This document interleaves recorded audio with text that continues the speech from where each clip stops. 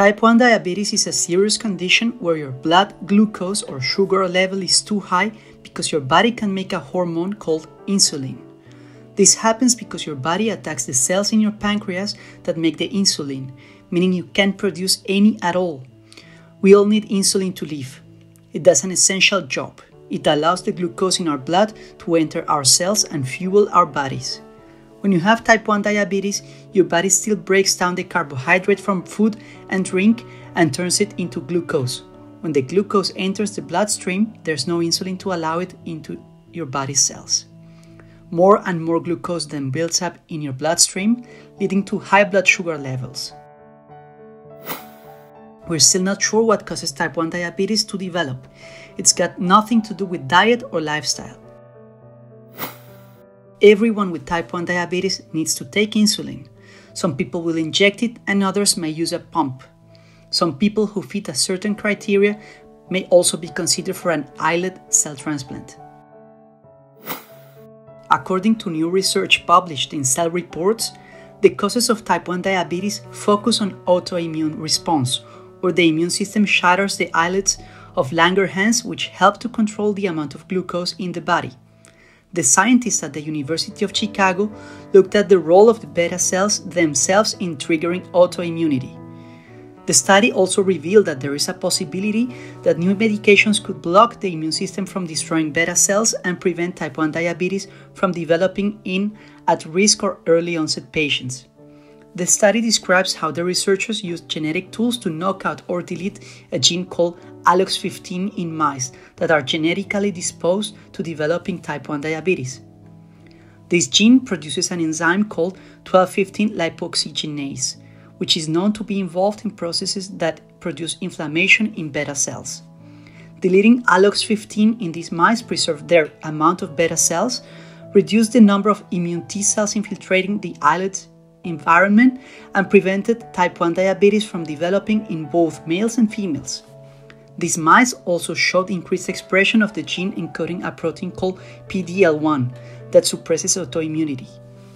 The immune system doesn't just decide one day that it's going to attack your beta cells. Our thinking was that the beta cell itself has somehow fundamentally altered itself to invite that immunity, said senior author Raghavendra Mirmira, MD, PhD professor of medicine and director of the Diabetes Translational Research Center at University of Chicago. When we got rid of this gene, the beta cells no longer signal to the immune system and the immune attack was completely suppressed, even though we didn't touch the immune system, he said. That tells us that there is a complex dialogue between beta cells and immune cells, and if you intervene in that dialogue, you can prevent diabetes.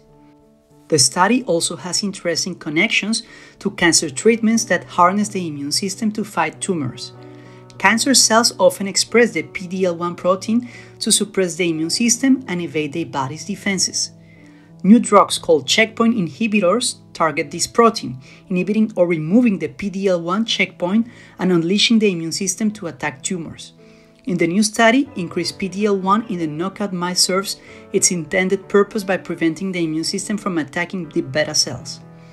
In the new study, the researchers also tested a drug that inhibits the 1215 lipoxygenase enzyme on human beta cells. They saw that the drug called ML355 increases levels of PDL1, suggesting that it could interrupt the autoimmune response and prevent diabetes from developing.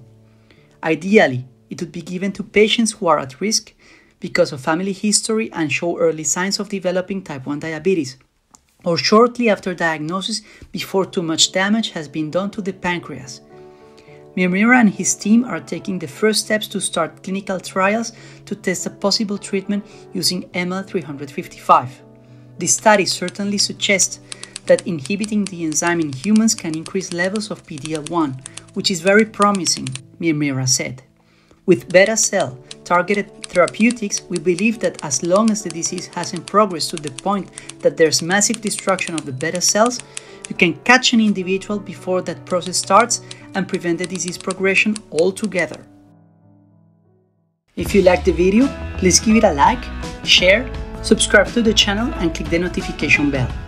Please follow me also on Facebook and Instagram, that would help me a lot. Thank you very much and see you next time.